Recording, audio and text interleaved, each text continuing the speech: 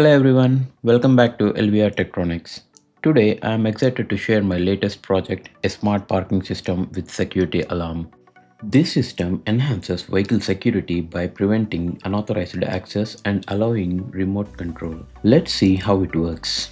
Remote monitoring and control. The LCD screen and LED indicator on the phone displays security status. By using our smartphone, the gate can be opened or closed remotely. After parking, the owner can activate the security system using a phone or control panel. If someone tries to move the car, the sensor detects it and gate closes automatically to prevent theft. It also sends notification to our mobile. To take the car, the owner must turn off the security system via phone or control panel. When deactivated, the car can be moved without triggering the alarm. If the car is moved while security is still on, an alarm will beep. The owner can turn off the alarm manually via app.